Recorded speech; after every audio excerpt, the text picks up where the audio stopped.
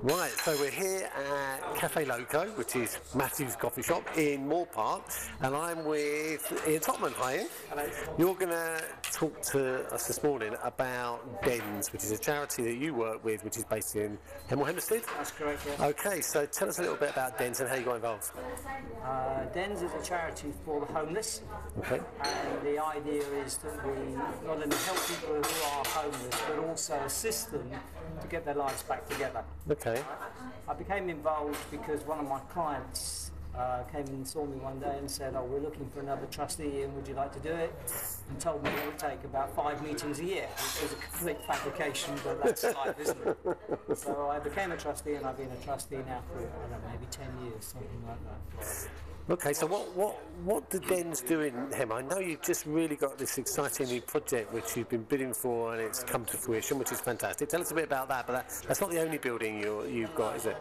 Um, what we have is a day centre Right. where people can come in off the streets and they will be given some food. But we're also changing that slightly because we want to give them more of a program to enable them again to work to get back into society. I mean, they can come in, they can use a computer, they Yep. can look at a newspaper, they can look for job interviews and things like that. So that's the day centre.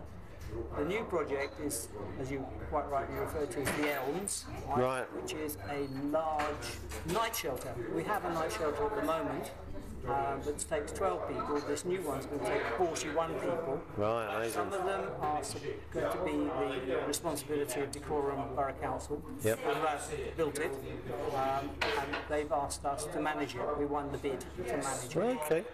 Um, so we're going to be responsible for 21 people in there, and those people will be subject to a sort of educational program where we are working with people to get them back into society. And in fact, it's been so successful, it's been really you know, encouraging the way we're getting people back. Unfortunately, there's always a continual supply of people who are losing their jobs. We have to fund all of this. Yep. Right, so we have um, a we sell second-hand furniture. People Right. donate the furniture to us, and we do an awful amount of fundraising. And the people of Hemel and around have been brilliant.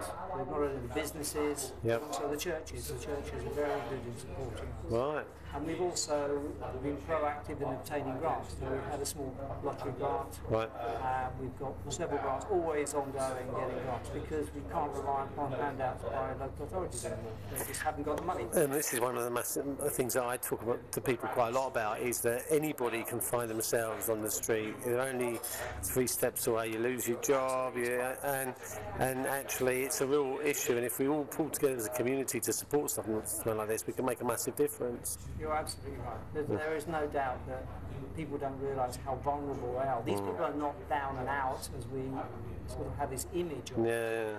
These people are family people whose families have broken up. They're directors whose companies have crashed. Yeah. And suddenly they can't support people, so they become homeless. Hmm. So you have, you know, the people who are in the night shelter or come into the day centres, but that way. Some of them will have slept rough. Some of them will have slept in the in the night shelter. Yeah. And some of them will be what we call sofa surfing. Mm. And those people are extremely vulnerable because, unfortunately, the way of the world is that people say, yeah, you can sleep on my sofa, but there is a price to pay. That's particularly true with women.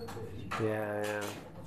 We also do um, food parcels, and we hand out thousands of food parcels. Every one of them is worth about twenty pounds, and that's all funded by the community. They all give us the food. It has to be in date. We have a big warehouse where we store the food. Brilliant. So, um, and that obviously serves a very important function. I know we've talked about it, but I'm going to come up and do a video of some of the facilities. I know there's, yeah, yeah, if you could just show us around. I, some of it might be a bit sensitive, so we I'll have to take your guidance on that. But it'd be really good to do that because I think a lot of people out there probably don't know the good work. They probably don't understand how it all kind of pans out really. And I think it'd be really nice to just show some people, you know, actually the, the actual physical. No, no problem with that at all. Fantastic. All right, well, thanks very much for talking to us, uh, Ian, and uh, yeah, and uh, I'll get in touch and we'll do the uh, we'll do that little tour as well. okay, Okay, thanks very much.